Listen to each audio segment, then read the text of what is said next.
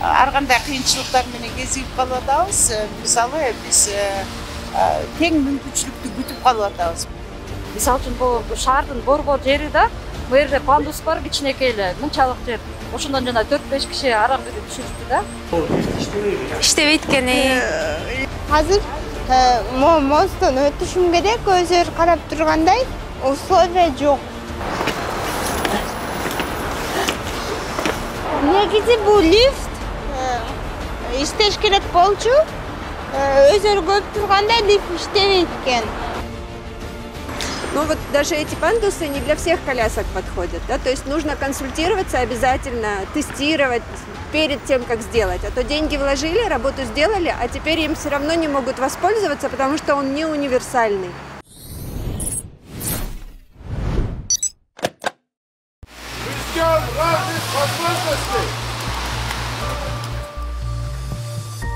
Адам укуктарынын эл аралык күнүнө карата майыптыгы бар жарандар. Бийликтен тең укуктуулукту талап кылышып тынчтык акциясын өткөрүшкөн. Анда майыптыгы бар адамдар атайын кийимдерди кийип биз бирдей мүмкүнчүлүктөрдү күтөбүз деген талаптар менен чыгышкан политклиника медиасына аталган акциянын уюштуруучусу жана теңдик майыптыгы барлар биримдиги уюмунун төрайымы гүлмира казакунова майыптыгы бар адамдар башка кишилердей эле укукка ээ болушу керектигин белгилеп бирок бийлик аларга көңүл бурбай жатканын айткан. Бүгүнкү биздин акциянын аты тең биз тең мүмкүнчүлүктү күтүп атабыз. Кыргызстанда майыптыгы бар адамдардын укуктары кагазда жазылуу бирок ишке аша келгенде эле биз ар кандай кыйынчылыктар менен кезигип калып атабыз мисалы биз тең мүмкүнчүлүктү күтүп калып атабыз мына транспортту алсак деле биздин мүмкүнчүлүгүбүз тең эмес башка адамдарга караганда. Ошондой эле акциянын катышуучусу гүлзар дүйшенова майыптыгы бар адамдар эч бир мекемеге ээн эркин кире албастыгын аны менен катар коомдук транспорт дагы алар үчүн жеткиликсиз экенин билдирген. Мисалы үчүн бул шаардын борбор жери да бул жерде пандус бар кичинекей эле мынчалык жер. Ошондон жана төрт беш киши араң бири түшүрүптү да. Анан коомдук транспорт деле көрдүңөр эле троллейбустар келди. Буга жакын токтогон жок бизди көрүп туруп элечи. Негизи биякка чейин көп көйгөйлөр бар бүгүнкү биздин акциябыз ошо биздин майыптуулугу бар адамдарга өлкөбүздөн тиги өкмөттүн бизге көңүл буруусу болсун деген. А бул костюмдарды кийгенибиздин себеби бул ждон деп коет. Мультперсонажда күтүп атабыз да качан аткарылат ошо конвенциядагы баягы мыйзамдар качан аткарылат деген акция менен да. Дегени менен кыргызстанда майыптыгы бар адамдардын укуктары жөнүндө конвенция үч жыл мурда эле кабыл алынган конвенцияга ылайык мамлекет майыптыгы бар адамдар үчүн тейлөө кызматтарын жана объектилерди жеткиликтүү кылып бериш керек болчу. Политклиника медиасы медиарейт программасына алканда дал ушул конвенция иш жүзүндө канчалык деңгээлде аткарылып иштеп жатканын жана бишкек калктын аялуу катмары үчүн канчалык деңгээлде ыңгайлуу шаар экенин көрсөтөт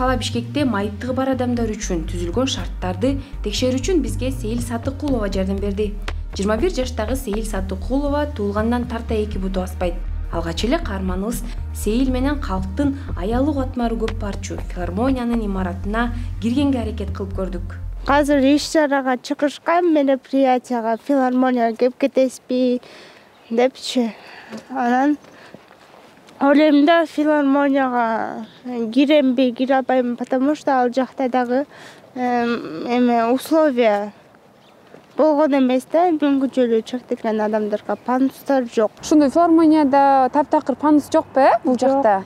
жок.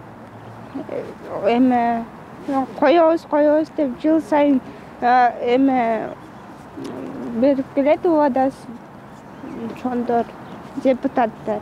Сөздөр менен эле айтып коюшат а өзү көрүп тургандай до сих пор пандустарды коюшу элек бияка негизи майыптыгы бар адамдар көп келет да туурабы э? Майыптар бар адамдар көп келмек алар деле концерт көрүп вот кинотеатрга отургулары келет кино пино көрүпчү.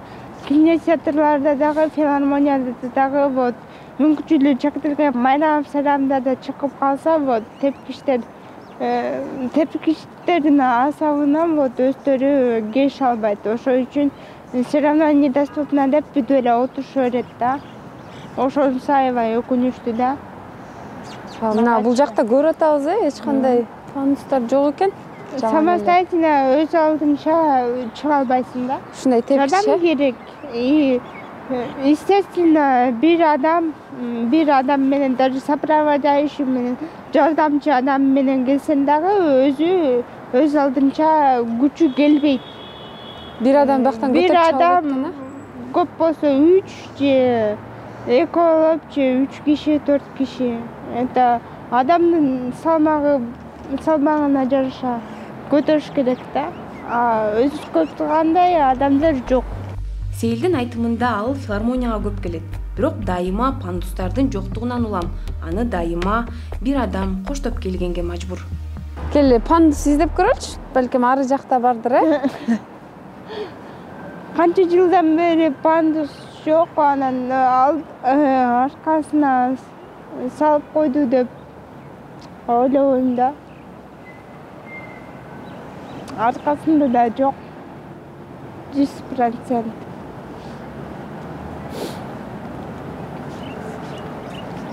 Мындай жөнөкөй адамга билинбейт да. Вот коляскадагы адамдарга мүмкүнчүлүгү чектелген адамдарга анан андай эмесе дагы кандай десем вот мамашаларга карлуу адамдарга дагы аябай кыйын да. Не только мүмкүнчүлүгү чектелген адамга эмес даже мамашаларга да аябай кыйын да. Колясканы көтөрүп чыгып кайта түшүп.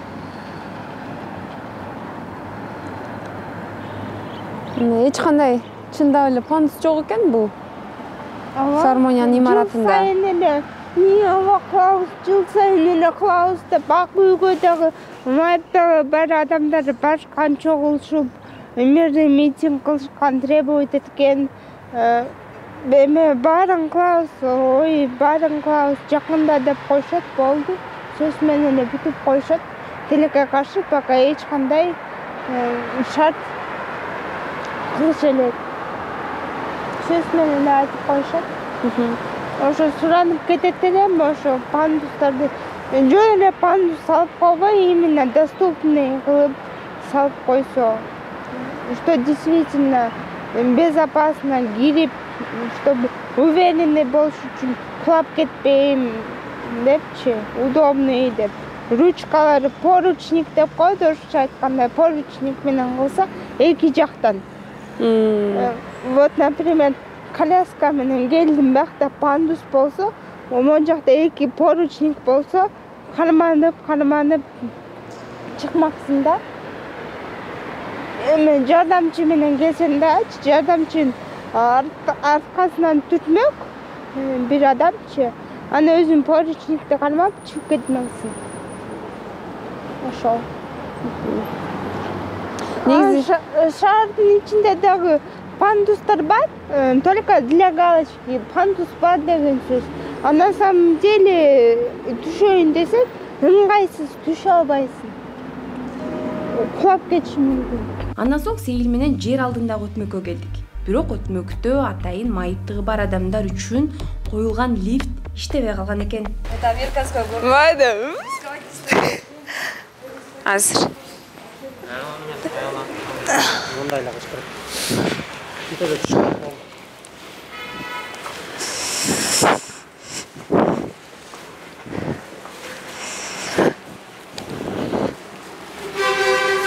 аябай башка сезим башкача сезимдер болот экен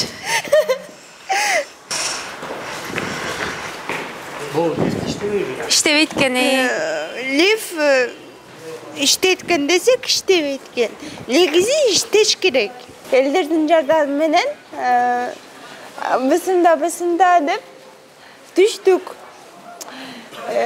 чынымды айтайын биринчи жолу поземкага түшүп атам биринчи жолу ичине кирип аябай башкача сезимдер болот экен мындан мурун түшкөн эмесмин келген эмесмин бул жака потому что возможность жок болчу шарт да жок болчу и биринчи жолу ушундай түшөм десем элдер өздөрү келип жардам керекпи деп мени сурап анан түшүрүштү мындан мурун түшүрбөчү жардам сурасам да түшөйүн десем да элдерди таппачумун добровольецтердичи түшүп калгылачы дегенде баары карап кетип калышчу да ошондой эле майыптыгы бар адамдар үчүн коомдук транспорттарда жеткиликсиз болуп чыкты калктын аялуу катмары троллейбустар менен гана жүрө алышат ошондо дагы пандустар кээ бир троллейбустарда гана бар.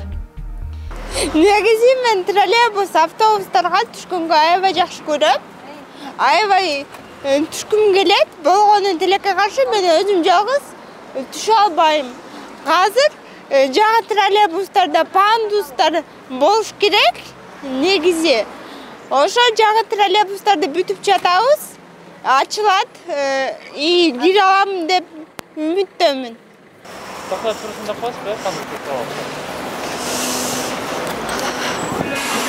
А, не, пандус не открывается. нет Ручки нету, ладно. нет Ручки нету. Ну да ладно. пандустар жагы болгону менен кээ бирлердики пандустар ачылбайт ошол үчүн троллейбус менен к сожалению көчөдө жүрө албайсың шаардын ичинде и ар дайым таксиге түшкөнгө туура келет да а таксиде мүмкүнчүлүгү чектелген адамдарга адамдардын кээ бирлеринин шарты жок ошол үчүн дагы үйдө отурушат деп ойлойм да ошол А сиз өзүңүзчү көптөн бери түшө элек белеңиз троллейбуска иногда эле түшөм вот не- необходимость кийин Э, шартым жок болгондон кийин түшөм да түшкөнгө туура келет а көбүнчөсү мен такси менен жүрөм а возможностьм болбосо шарттар баары түзүлсө мен сүйүнгөн бойдон жүрөр элекмин троллейбус автобустарга түшүп өзүм аябай жакшы көрөм троллейбус автобустар жагы пандус кылышты деп коюшат пандус кылдык деп сүйлөп коюшат да өкмөтчү но деле практикага келгенде текшергенге келгенде баары недоступен болот да азыр көргөндөй эле биз пандусту ача албай койдук ачылбай койду сейилдин айтымында майыптыгы бар адамдар да башкалардай эле өнүгүп өсүп билим алууну каалашат ал үчүн китепканага келгилери келет. Бирок пандустардын жоктугунан майыптыгы бар адамдар китепканага дагы кире алышпайт. Китепканага келсем мынакей бул биринчи преграда болуп дагы лестницаларды тепкичтерди көрүп отурам эми ойлоп жатам кимди жардамга сурасам деп. Потому что өзүм жалгыз түшө албайм. Э дагы эч кандай пандус жок кандай көп тургандай шаар боюнча доступный пандус эч жакта көргөн жоксуз э көргөн жокпуз мынакей ошол үчүн кээ бирлер просто таксиге отуруп кайта үйгө кетип калышат да мындай сейилдеп көгүл ачып э, таза аба жутуп гулять этише албайт сейилдеше албайт потому что доступ жок ар кайсы жакта пандус анан ар ким сурагысы келбейт да сурай бербейт жардам берип койгулачы жардам берип койгулачы кээ бирлер уялат сырданышат ой болбойт ой мени карап коет депчи туура эмес ойлоп коет деп уялып ошо сурабай үйдө эле отуруша берет мына даже өнүгөй өнүгөйүн десем өнүгөйлүк десек эч кандай условия жок адам болгондон кийин өнүгүшүң керек да мен эне атам мен бир туугандарым ар дайым жанымда боло бербейт мен өзүм самостоятельный болушум керек мен өнүгүшүм керек. Өнүгөйүн десем мына. Ушундай преградадар болуп жатыр.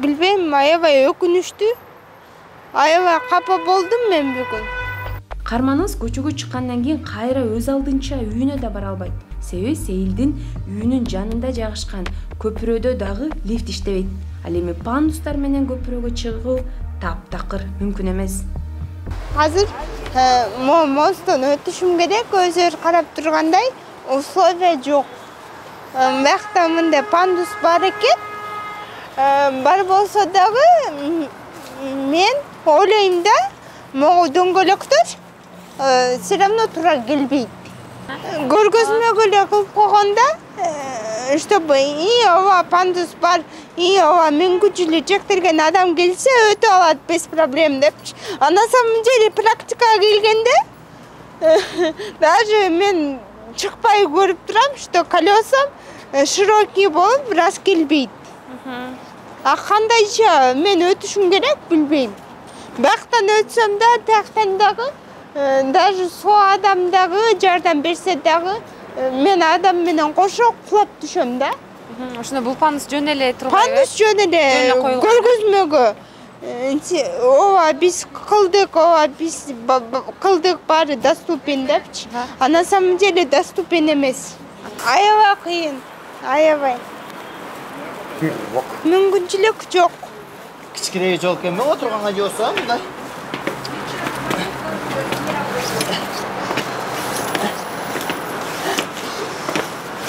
мындай чоң рахмат байкелер алла ыраазы болсун негизи бул лифт иштеш керек болчу өзүңөр көрүп тургандай лифт иштебейт экен и күнүгө мен элдерди сурап адамдарды сурап күнүгө ушинтип мени көтөрүп чыгарышат өзүм жалгыз чыга албайм күнүгө ушинтип кыйналам шаар боюнча көптөн бери эле иштебейт окшойт бул э? Бул лифт жөн эле көргөзмөгө салып коюшкан.